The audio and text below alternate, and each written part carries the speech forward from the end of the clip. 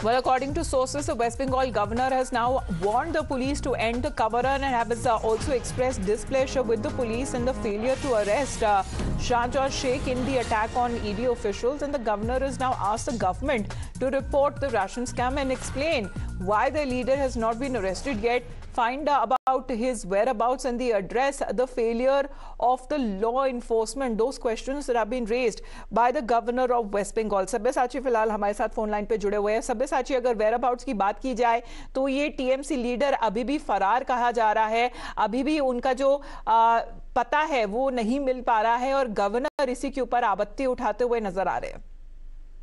जी बिल्कुल ठीक कहा देखिए